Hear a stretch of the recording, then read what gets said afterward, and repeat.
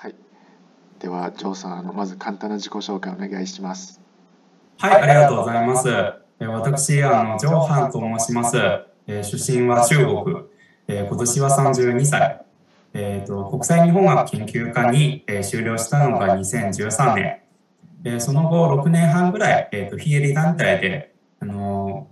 ーまあ、あの新卒採用など、学生向けのサポートを、えーしてから、えーと、今は、えーと、じあの人材系の会社で、あの人材紹介の仕事を行っております。本日はよろしくお願いいたします。よろしくお願いします。えーまず、えっ、と、一つも質問なんですけれども、はいえージョンさんは最初なぜあの国二試験に進学しようとあ思ったのでしょうか？そのきっかけと理由とかもしあれば教えていただきたいと思います。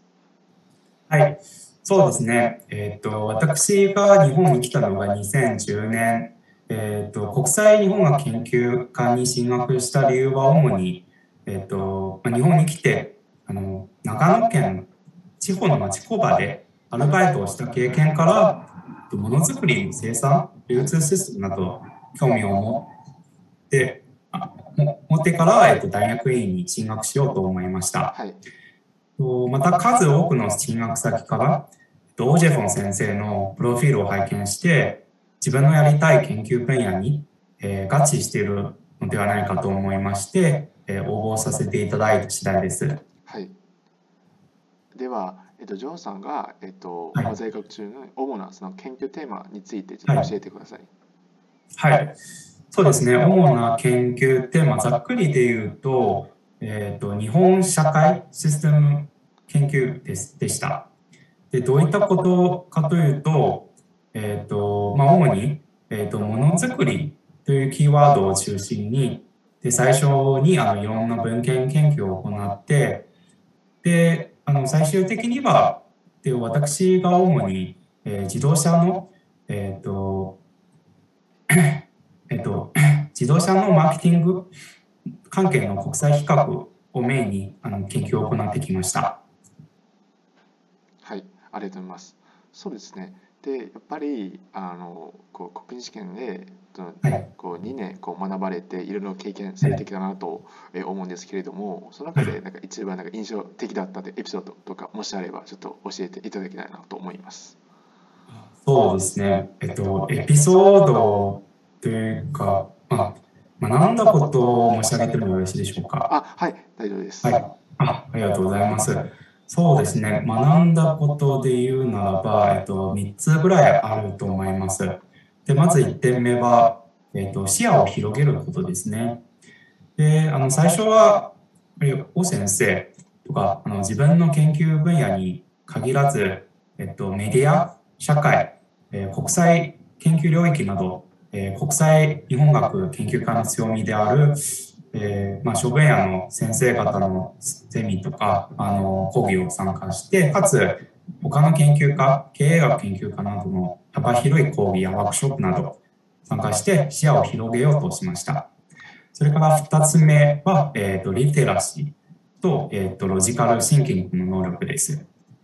でやっぱりものづくりに関連するあのいろんな研究分野の論文や、えー著作など決められた時間の中にどうやって、えーとにかく集中的に、えー読なこ読み込ませることとか、